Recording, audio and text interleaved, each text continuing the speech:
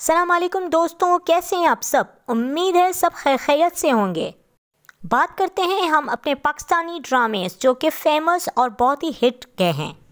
हाल ही में एक ड्रामा ख़त्म हुआ है, जो कि बहुत ही खूबसूरत अंदाज से दिखाया गया है, रक्स बिस्मिल। दूसरी जानब भी एक खूबसूरत ड्रामा, जो कि हिट होना चाहिए था, लेकिन हिट नहीं है। खुदा और मोहब्बत। लड़का और लड़की की मोहब्बत की दास्तान दिखाई गई है, जो कि लड़का दीवाना होता है एक लड़की के। लड़का लड़की की मोहब्बत के लिए अपने माँ बाप का घर भी छोड़ के जाता है और उसको हासिल करना चाहता है। यहाँ तक कि उस लड़की को ख़बर तक नहीं होती। लड़की अपने माँ बाप के कहने पे जहाँ वो कहते हैं, वहाँ शादी करके जाती है, लेकिन जो दीवाना होता है, वो उसे इतनी बदुआएँ देता है कि वो पहले दिन ही बेवा बन जाती है। और लड़का लड़की की मोहब्बत में उसको बदुआएँ भी देता है, अपने माँ बाप को भी छोड़ देता है और अपने आप को भी भुला बैठता है। और लड़का लड़की की जुदाई में जाके किसी दरगाह में पीर फ़कीर सा बन जाता है। इस ड्रामे का नाम खुदा और मोहब्बत नहीं, बल्कि रक्स बिस्मिल होना चाहिए था। क्योंकि इसमें एक और लड़का दिखाया गया है जो कि बहुत ही अमीर ज़्यादा और बड़े ही पीर फ़कीर को मानने वाले, लेकिन मोहब्बत कर बैठता है किसी रक्कासा से। खुदा की मोहब्बत तो कहीं नज़र ही नहीं आती। खुदा के लिए तो कोई ना सजते करता है, ना मस्जिद जाता है। सिर्फ़ पीर फ़कीरों के पास जाते हैं, उन्हें ही सब कुछ माना जाता है, उन्हीं से सब कुछ मांगते हैं। सब कुछ यही दिखाया गया है कि दरगाहों पे जाओ। एक तो ड्रामे के पार्ट्स बना के सीजन्स बना के, उन ड्रामों का जो नाम होता है, उस नाम के तहत स्टोरी अब वो बना ही नहीं सकते। लेकिन क्यों फिर वो नाम रखा जाता है?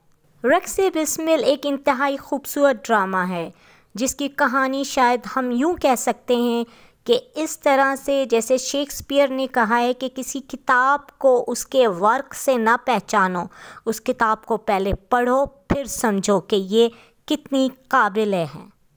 खुदा और मोहब्बत ड्रामे का नाम ये नहीं होना चाहिए था, बल्कि इस ड्रामे का नाम रक्स बिस्मिल होना चाहिए था। बल्कि रक्स बिस्मिल भी नहीं, इस ड्रामे का नाम रक्स माहीन होना चाहिए था, क्योंकि जिस लड़की पे दीवाना मरता है, जिसके लिए सब कुछ छोड़ छाड़ कर बैठता है, फ़कीर बनकर, उस लड़की का नाम माहीन होता है। अब सारी ज़िंदगी रक्स करता रहता है कि उसे हासिल किया जाए। तो उसका नाम रक्स माहीन होना चाहिए था, और रक्स बिस्मिल ड्रामे का नाम खुदा और मोहब्बत होना चाहिए था।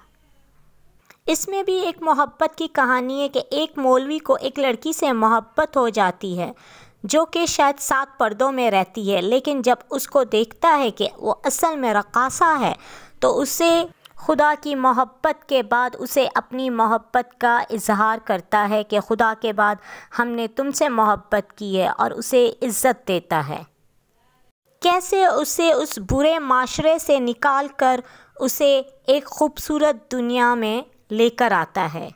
ये ड्रामा जितना हिट किया है, अब दुआ है कि अब इसके सीजन्स ना बनाए जाएँ, क्योंकि ये जैसा भी है, जैसे भी बन गया, बहुत ही अच्छे तरीके से बन के अगर इसके भी सीजन्स बनाए गए तो खुदा और मोहब्बत की तरह उसका भी सत्यानाश कर देंगे। खैर दोस्तों, हमें जो अच्छा लगा, हमने वो सबसे शेयर की बात। खुश रहें, हँसते रहें और मुस्कुराते रहें और मुस्कुराते, बांधते रहें।